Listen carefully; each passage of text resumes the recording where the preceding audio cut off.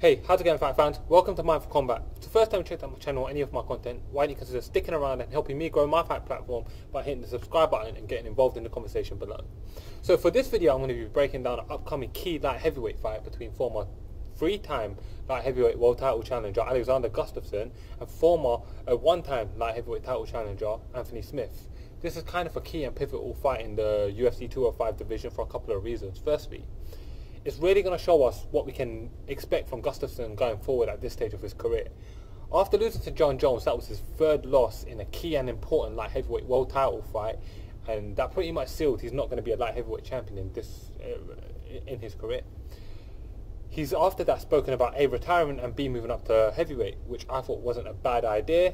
I felt like he has some skills that could translate well to heavyweight, and I'll be interested to see how he does it.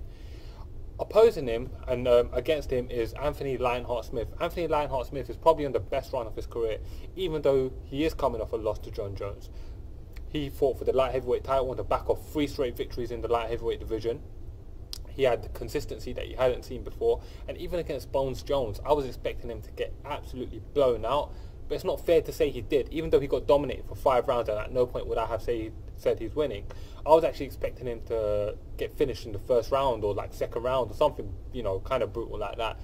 And um, he stuck around. He showed his tough. He showed a lot of heart by not taking the easy way out and getting a DQ win. But then that's what you expect from a guy named Lionheart. So, so let's get into this breakdown. I'm going to go through the, um, through the through the table of the tape, and we can talk about the significance of these numbers whilst I'm uh, whilst I'm going through it. So Alexander Gustafsson is 32 years old. He's fighting Anthony Smith, who's 30 years old. They're both experienced veterans in the game. They've both been around for a while, and I think they're both. The thing, the difference here in their age is, not just the two years; it's about mindsets. Because Alexander Gustafsson has spoken about retiring. He's he's been inactive for certain years, and you know what I mean. He's talked about going up to different weight class. Is his heart fully in it? Is he at that stage of his career where, okay, 32 is not that old, particularly at light heavyweight, but where is he right now? Then you've got Anthony Smith, who's 30 years old, and although he's vastly more experienced in terms of fights, uh, he's still very hungry. You can tell he very much still wants to be doing this. I think he's at the best form of his career, and he's probably making the best money he's made in his career. So he ain't going nowhere. So there's not really a big difference there. Um, Alexander Gustafsson coming into this fight has a record of 18 and 5. Obviously, as I've mentioned, he's had the three world title fights. He's had some main events other than this. He's had a lot of high-level exposure in his 23 professional fights. Anthony Smith is 31 wins and 14 losses. Now, don't let his um, high amount of losses fool you. He took a lot of losses early in his career. I think at one point in his career he was like five wins and seven losses. So I mean, with that taken on board, he's gone what 26 and seven since then. That's not bad. And more recently, he's had even more consistency. So, so in terms of experience as well, they've both had main events. They've both had high-profile fights. they've both had world titles. The there or thereabouts is a great match. Alexander Gustafsson has a 79 inch reach, which is 3 inches more than um, Anthony Smith's 76 inch reach. He also has 2 inches on height on Anthony Smith, standing at 6 foot 5 as opposed to Anthony Smith's 6 foot 3. Some of their key wins. Alexander Gustafsson is one, has been one of the pivotal players in the UFC light heavyweight division over the last five, five, six years, longer than that, for the last, say, decade he's got wins over the likes of Glover Teixeira, in, um, which is his most recent win in April 2017, which was incredible and impressive. He's beaten guys like Jan Blachowicz. He's beaten uh, Thiago Silva back when Thiago Silva was still considered a killer. He's beaten uh, Mauricio Shogun Rua uh, a long while back. We're talking 2012 Shogun Rua. So, you know, this is a good Shogun Rua. He's beaten um, Jimi Manuwa when Jimi Manuwa was undefeated. That's a key win there. Anthony Smith, he's he's got some key wins, but I would say his best win's probably Volkan Oezdemir in a tough fight. Um, Volkan Oezdemir is a top contender. You know what I mean? Like he's beaten guys like Shogun Rua and Rashad Evans, Hector Lombard, who probably have a higher profile name than Volkan Oezdemir, but they they were at the tail end of their career, so you can't really consider them as some of the best in the divisions, if you know what I mean. So, so I would say definitely Gustafsson has the more key wins. Some of the issues. Um, Alexander Gustafsson, when you're thinking about his issues, it's got to be his desire to fight. Does he want to fight anymore? Does he want this anymore? When a guy speaks about retirement, it really sends warning alarms to me. Like, I think to myself, what the hell's going on here? Does he even want to do this anymore? He's also shown to be hittable, uh, particularly recently. He, he was susceptible to the kicks by Jon Jones and he was he turned into a pressure fighter. So it's about mind frame and if he can be hit for Gustafsson. For Anthony Smith, I don't mean this in a disrespectful way, but I still don't believe Anthony Smith is world class, and for all of Gustafsson's shortcomings, he is absolutely world class. That's got to be considered as an issue.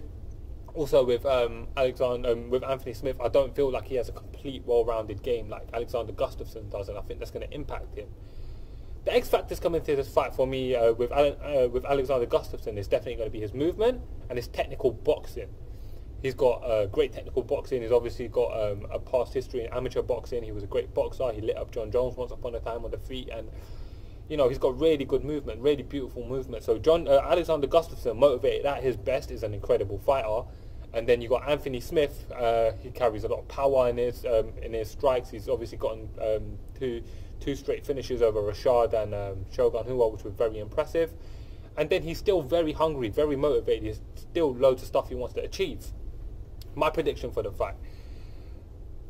Anthony Smith is not a guy who's going to come out there and go for a takedown in this fight. He's going to want to strike with Alexander Gustafsson. I feel like Alexander Gustafsson is going to engage him in a striking battle. However, I do think feel like Alexander Gustafsson is going to stay on his toes and he's going to box and he's going to maneuver. I feel like when they're getting really close, Alexander Gustafsson is going to use his wrestling. Let's not forget Volkan Oezdemir took Anthony Smith down and Alexander Gustafsson took Daniel Cormier down. There's a huge discrepancy in their wrestling and defensive wrestling skills I don't think are going to be there for Anthony Smith even though Gustafsson isn't what you would consider a wrestler. So I'm going to go with Alexander Gustafsson to get a unanimous decision victory because Anthony Smith is tough as hell I don't think he's going to get knocked out, put away, or quit. I think he's going to ride this out. I think he's going to be in this fight all the way to the end. And of course, the usual disclaimer: he might land a, he might just punch him in the face. That could happen. But if I'm going to make an educated prediction, it's going to be that Alexander Gustafsson is going to outbox him for five rounds. When they're getting close, I feel like he's going to use his wrestling to take it down, and he's going to use his kicks when he's at a distance. You know, he's got that good straight front kick up up the middle that will probably find um, Anthony Smith's chin chin a couple of times. Anthony Smith's cast iron chin. That is, well, I mean, not cast iron, but it's got a very sturdy, durable chin. That's my prediction anyway. Anyway, fight fans, thank you for watching. If you liked my content, like the video, like the breakdown, please remember to hit the subscribe button. Comment below, let me know what you think about my breakdown and how you see this fight going.